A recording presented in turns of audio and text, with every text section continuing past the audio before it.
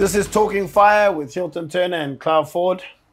Once Today, again, today we're discussing design and categories of systems, when and where they're required, and any specific notes that need to be made with regards to, to the design. So obviously, generally we've got uh, the P system, which is protecting property, assets, and that. Then we've got the L systems, which are protecting life or the occupants within the building. yes. Okay. But just to start off, the first system is obviously an M system. So an That- M that's your sort of baseline. the cheap- baseline, which is cheap and cheerful. the G, yeah. So that's a call point. It's a manual call point and sounder system. Mm-hmm. The manual call points are once again spaced as per 10139. So they need to be 30 meters apart with a maximum walking distance of 45, Yep, as well as at all fresh air exits. Yes. Is that correct? correct. Okay, Clive. Now I'm going to pass on to you P1 and P2. When would you recommend using them? Right. Obviously, a lot of the a lot of this is dictated in 10400 as to as to what type of system needs to be done for what type of building and what the t- you know what the building's being used for. Yeah. How do you look at a P system, Okay. a P1 system, and what is the difference between a P1 system and a P2 system? Okay. and any suggestions you would have to our to our audience when when installing or right. designing in accordance to those systems. All right. So, um, as Hilton says, a P system is protecting property. So you would have it in storage, in uh, warehousing, that kind of thing. Because a P system, the difference between a P and an L, the basic difference is uh, you don't need sounders, you don't need alarms in a P system because, in theory, there's nobody there that you need to warn. It's going to be a warehouse with stuff in it. P1 system is very similar to L1 system, is that you've got to have detection in the whole building okay. You've got to have remote alarming, um, monitoring, so that if there's an alarm, you can get somebody to react to it. A P2 system is in specified high risk areas. So, for instance, um, if you have a warehouse and in the corner you've got a little high fla- highly flammable store where you're storing flammable liquids and you only want to protect that. A competent person, a fire risk analysis has to be carried out, and somebody clever is going to say, sign off and say, the warehouse is fine. We only want to put detection into that flammable store area. So that's the two differences. So P2 system is specified areas within a room or within a building, um, and a L1, a, a P1 system is going to be the complete building. That's that's the basics. Okay, so there so there we're just protecting the property, the Correct. assets, Yeah. and that kind of stuff. Moving on to life safety, and I think life safety well is is probably a lot of the stuff we discussed with, with stuff, regards to the life safety. Um, as we we've just been through, Yeah. been through hospitals, there's obviously hotels. There's a lot, a lot of aspects. L one to L five. Okay. Okay. So should we start at an L5 and Yeah. work back? Start at the bottom and work our way back. through. Yeah. So L5. L5. Okay. Keep in mind that our system by default has manual call points and sounders. So that integrates the, the requirements of an M system Plus. is there plus Correct, the automatic detection side. yeah. Okay. Um, all right. So L5 is specified areas in a building. So it's very much going to be on your risk analysis, your fire risk consultant, your designer, a competent person. Again, going back to somebody is going to sign off your design certificate and say, I am taking responsibility that I only want detection in the MD's office because he's really important and we don't care about anybody else. Okay. So it's a specified high risk area inside a building. Okay. okay. Um, and I'm going to refer to notes here because it, it does get a bit uh, sort of uh, special. Right. So, L5 coverage and design is to meet specific fire safety objective.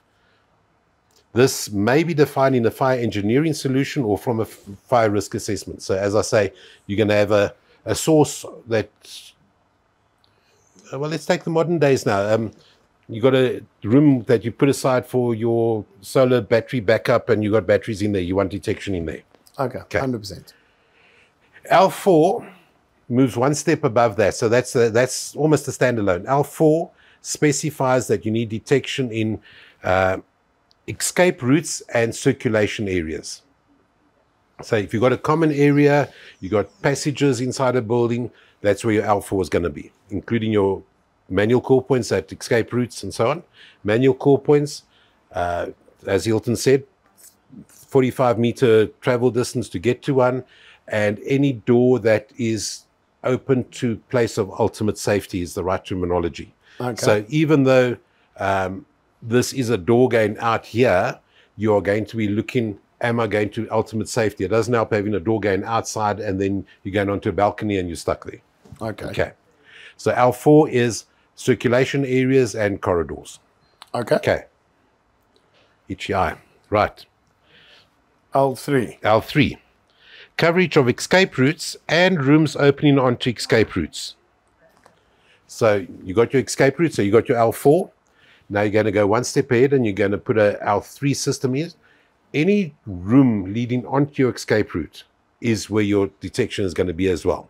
So it's one step up from just normal corridors and normal circulation areas. So you got a office block, you got your fire, you got your fire escapes, and you got the door coming out of this office onto that fire escape. That's where you need to have your detection as well. So I'm assuming this is like obviously now if for example somebody has a fire in a bin within an office, um, it's allowing everybody to evacuate prior Correct. to it spreading as opposed to just detecting. Correct. Because once it gets detected in the escape route, Yeah. you have the source of issue or the source of fire is inside Yeah. the escape route. So evacuation could be an issue potentially. Potentially, yeah. So we just you, you want a warning to say, listen, there's something happening. Let's let's meander out of the building before it becomes an issue. okay. Yeah. Um, L2 is going to be the same as L4, uh, L3, sorry, as well as areas of high risk. So you got your escape routes, and you got your, your your rooms leading onto the escape routes, and anywhere else where there could be a high risk. So you're taking the L5 and adding it into that. Okay. Yeah. So uh, you could have an office or a canteen, for instance, and you've got a kitchen. So your kitchen is a source of uh, a high source, high risk area. So you're going to put detection in your kitchen as well. Okay. Yeah. Okay. That's and then L1 is obviously the cream of the crop. Everywhere. Yeah. Okay. So, So so, so traditionally, oh, talking many moons back, we used Yeah. to refer to an H1 standard, which was like the hotel standard, and that was Correct, to yeah. to. That's now been integrated into the L1. So Yeah. when we're doing a hotel, when we're doing accommodation, when we're doing that, we're focusing on an L1 system, Yes. Yeah. which covers, um, just to jump the gun, any area above a square meter, yeah. um, all escape routes. The standard does specify. All right. So now we're going to go back to um, 10400 Part C. That gives you your building classification. So as you said, the, the H1. Yes. that says it's a hotel. That then refers to 10139. And in 10139, you have then the specified area. So a hotel, you must have an L1 system and a voice evacuation system. Um, a shopping center needs to have detection in the shopping center. You can't do a P2 system in a shopping center because P2 says specified areas. Who's going to specify in the shopping center which is your high risk areas? You got a- big open area, so that's seen as your escape routes or your common areas that needs detection, and your shops, your your line shops leading onto that that needs detection. So a P system is not correct in a shopping center because you're protecting life. Okay. By default, uh, our system will give you a alarm so that you got the P side of it covered in any case. But ultimately, you want to save lives there. You, you imagine um, East Rand Mall. There's huge amount of shops there. There's huge amount of people in there. You want to get them out there safely. Imagine East Rand Mall on Christmas Eve. Yeah. Oh yeah, So it's yeah. there's there's obviously there's different uh, solutions. Well, there's not. It's it's pretty much stipulated the standard when Yeah. detectors are required, when not, spacing of detectors. Correct, yeah. Um, I know there are people. There's um, variety of change of shops. So just remember when changing between like a heat detector and a smoke detector, there are coverage differences. Correct. And those kind of stuff. Everything needs to be taken into account, and that that commonly comes back to like a shopping center, for example. You know, today it's a shoe shop. Tomorrow they're selling fish and chips. It's a little restaurant, yeah. You know, so you know, obviously smoke might be an issue. You've got your seven and a half meters. You've got your hundred square meters. When we drop down to heat, we only got fifty squares, Yeah. five point three. So these are all the things that are that are important to take note of. Um, the standards are always up for interpretation. Yes. However, I do feel that when it comes to the categories and stuff, uh, specifically the L1s, L2s, it's it's quite quite black and white in terms of where, I where you believe so, require yeah. Detectors. Um, but you know, we also recommend that uh, when reaching out, when doing fire risk assessments, it, you need to have a competent person because at Yeah. the end of the day, somebody has to sign and somebody has to take liability on that system. Correct. So if you know, I don't believe a guessing game is good enough No. you know and it's also once again falling under the end user responsibility today if it's a bathroom in a warehouse that is not a risk but they decide that they're building new bathrooms because that old bathroom is going to become a flammable store warehouse or flammable store store they need to make everybody aware because now it's become high risk Yeah. and all that kind of So stuff So that goes back to your user responsibilities. Reach out to your your your contractor that's been appointed to look after your system and say to him, "Listen, guys, we're changing this area of the warehouse. We're changing this building, whatever it is. We're changing the occupancy rating of that building."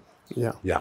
So ju- just to finish off, um, the standards make these. It's quite clear Yep. in terms of categories. There's various um, various suppliers that have downloadable apps that give you the stuff more based on BS5839. Yeah. Very few differences, if any, Much between the ourselves and yeah. So if you have any questions, use the standard, use the apps, ask the questions. Make sure that you're giving the client the correct coverage for Yeah. for what their um, their requirements are. And remember, your, your, your standard is the basic requirements. It's not the ultimate. The, that is a suggestion and it's the base level of where you need to start. You can always add to it, but you can't go less than that. And the other discussion that's always had is yeah, but we need an NFPA. We have had discussions with uh, South African Department of Employment and all of those guys. In South Africa, the SANS standard is law you can use a different standard if it is more than what the existing SANS standard is.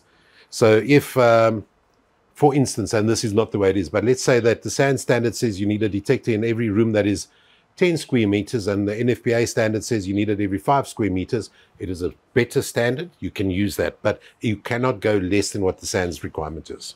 Okay. Thanks. I hope that clarifies some of the stuff. But once again, 10400, 10400 part T, Very important. 10139, even BS5839. This information is readily available. If you need information, please reach out at any stage and we'll happily share any forum or any platform that you can, you can get this information. Yeah, and um, as we've said many times, we don't know everything, but we will. If you ask us questions, we will know, or we will try and find the right answer for you.